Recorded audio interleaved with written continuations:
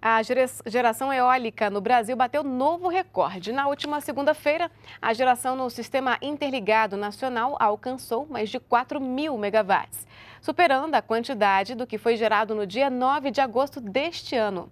A energia é suficiente para abastecer mais de 18 milhões de casas, com base no consumo médio de energia elétrica residencial, que é de 164 kW por mês.